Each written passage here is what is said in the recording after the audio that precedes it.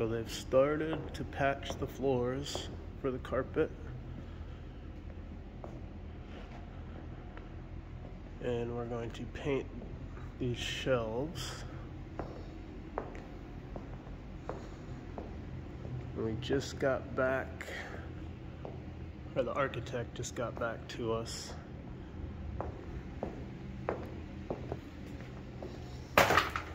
This is going to be good enough. Patching that vent hole at the moment. So this, they were gonna make us do two bathrooms and they were saying this one wasn't gonna be big enough to be ADA approved, but it is big enough. And we only need one bathroom to open, so it's coming along slowly but surely, I guess. Um, still got to fix the lights, but the floors should be done. Well, the carpet should be done this week, and then they're still waiting for the.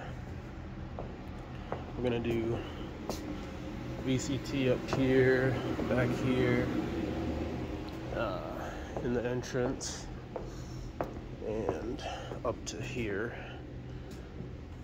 And I think the same for the bathroom, so. Oh, getting closer.